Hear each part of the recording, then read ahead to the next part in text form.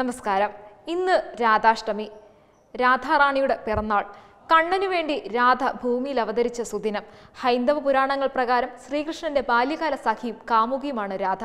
ഉദാത്ത പ്രണയത്തിന്റെ ഉത്തമ ഉദാഹരണമായാണ് രാധാകൃഷ്ണ പ്രണയത്തെ കണക്കാക്കുന്നത്. രാധയുടെ അവതാരം ഈ ഭൂമിയിലുള്ള മനുഷ്യർക്ക് കൃഷ്ണ പ്രേമരസത്തെ മനസ്സിലാക്കി തരാനാണ്. പ്രണയത്തിന് ലോകത്തെ ഏറ്റവും വലിയ മാതൃകയാണ് രാധാകൃഷ്ണ പ്രണയം. ഭാഗവതത്തിൽ പറയുന്നത് രാധ കണ്ണനേക്കാൾ മൂത്തതായിരുന്നു വിവാഹിതയായിരുന്നു എന്നൊക്കെയാണ്.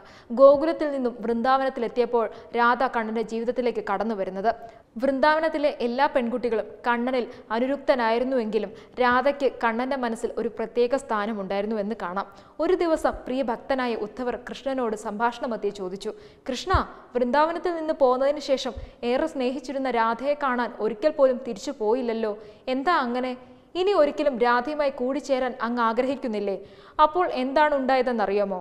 സദാ പുഞ്ചിരി തൂകുന്ന കണ്ണന്റെ ചുണ്ടിൽ വിഷാദത്തിൽ കുതിർന്ന ഒരു പുഞ്ചിരി വിടർന്നു. സംശയം മാറാത്തനാൽ അല്പം നീരസത്തോടെ ഉദ്ധവർ വീണ്ടും കൃഷ്ണനോട് ആരാഞ്ഞു.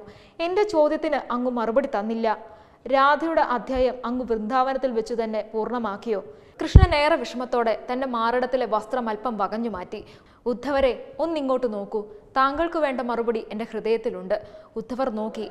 രക്തകണങ്ങൾ ഇറ്റിറ്റു വീഴുന്ന ഭഗവാന്റെ മാറിടത്തിനുള്ളിൽ അതാ രാധ. കൃഷ്ണൻ യാത്രയാകുമ്പോൾ സമ്മാനിച്ച ആ ഓടക്കുഴലുമായി യമുനാ തീരത്ത് ആ നിർവൃതിയിൽ ഒരേ ഇരിപ്പാണ്. പിന്നീട് കാലങ്ങൾ പോയതോ ചുറ്റും നടന്നതോ രാധ അറിയുന്നുണ്ടായിരുന്നില്ല.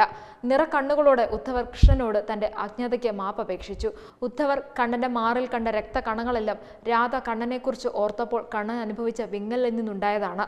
ഇതിൽ നിന്ന് നമുക്ക് എന്തു മനസ്സിലായി? രാധ കൃഷ്ണനായി മാത്രം ജനിച്ചവളാണ്. ഒടുവിൽ രാധ ദ്വാരകയിൽ തന്നെ കൃഷ്ണ ശരീരത്തിൽ അലിഞ്ഞു ചേർന്നു സായുജ്യമടഞ്ഞു. വെബ് ഡെസ്ക് തത്തുമൈ ന്യൂസ്